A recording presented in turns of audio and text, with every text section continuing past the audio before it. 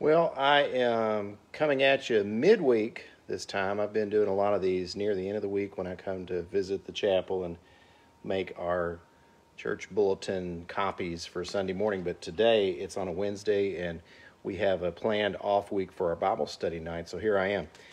And I've been thinking a lot about the fact that of the bunches of people that follow our church page, I know a lot of you don't attend worship somewhere and many do. There's a lot of folks that follow our page that are friends of ours from other churches or through the Emmaus community.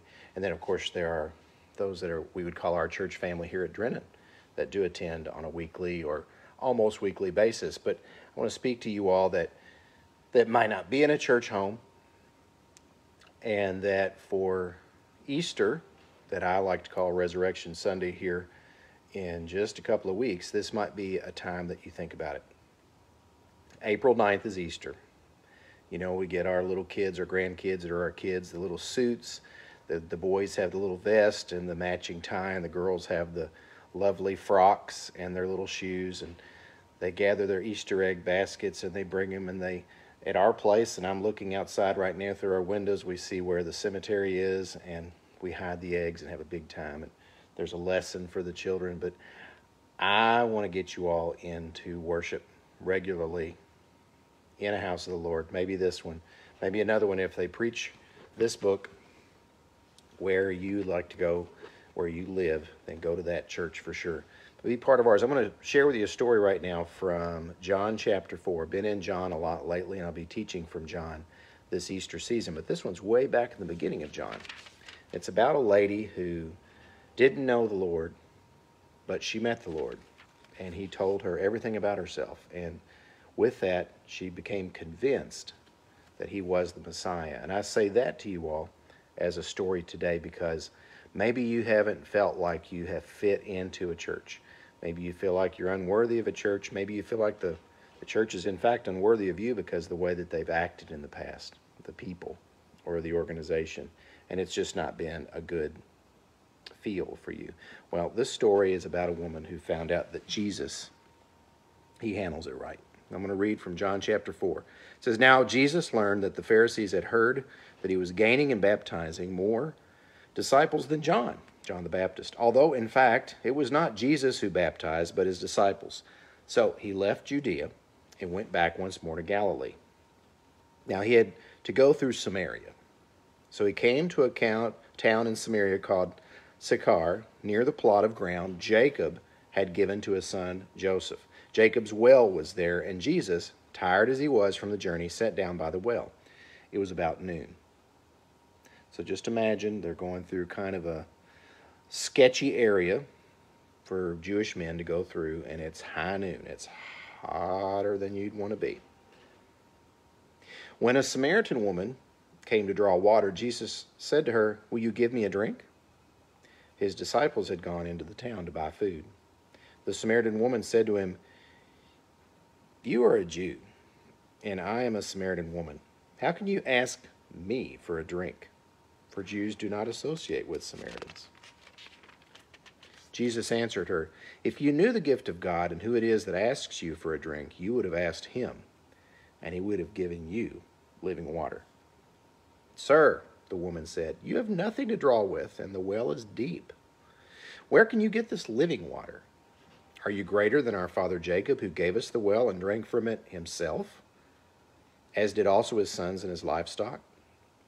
Jesus answered, Everyone who drinks this water will be thirsty again, but whoever drinks the water I give them will never thirst.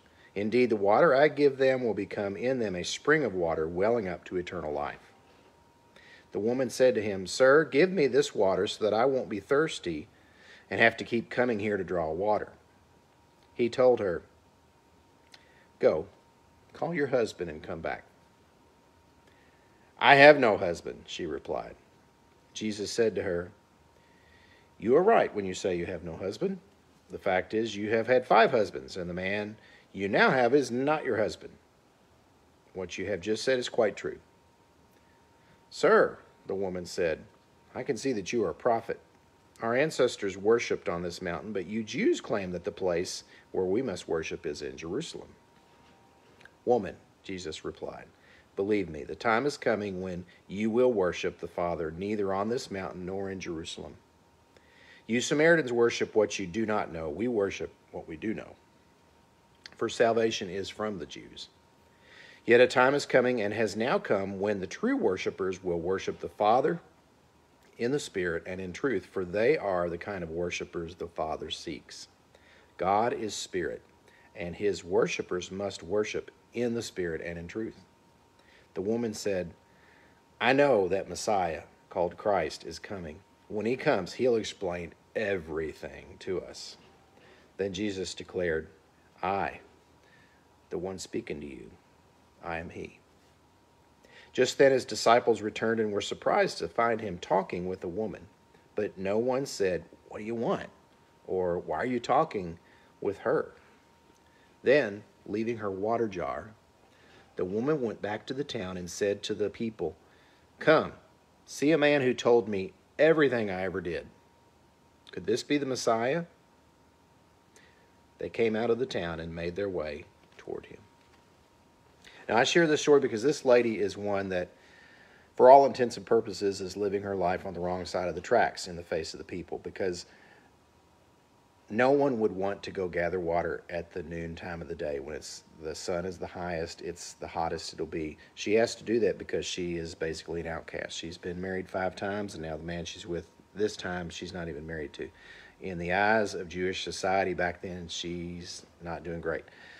And she is the one that jesus is entrusting this gospel to be spread in this place that as she said they don't even really associate with jewish folks so she's shocked that, that this is Jesus, as he tells her that, shocked that they're here, and the disciples are not expecting anything like this to happen at that time. And I say that to you all because if you're a person who is not expecting to experience Jesus in a church because you've been in a church and you sure didn't experience Jesus there, you might have experienced something else that was the opposite of Jesus, or you might have experienced an unloving spirit or you might have experienced shame. Jesus is showing in this story right here is that He is love, He is truth, He is light, He is life. Don't base your opinion of Christianity on me or on anybody else or on a church, even this beautiful Civil War chapel where I'm sitting right now. Base it on Jesus. These are His words in this book. And the lady that he ran into a woman that many wouldn't call a lady right then. He entrusted this gospel to her. That could be you. A man or a woman or a boy or girl who feels left out, who feels like they've let their family down or let Jesus down or that they don't fit in a church. Jesus is saying, No, this, this place is for you. I am for you. This gospel is for you. Come see us here. You see where I am right now? I love this place. My family has been coming here for just short of 14 years. Easter's coming. I like to call it Resurrection Sunday because Jesus was resurrected on that day. And it could be that your heart is going to be resurrected. It could be that your life is resurrected. Think about it. Pray about it. Give it a shot. You've got two weeks till Easter. April 9th. Get yourself in a chapel that studies the Bible and worships the Lord and Savior Jesus Christ.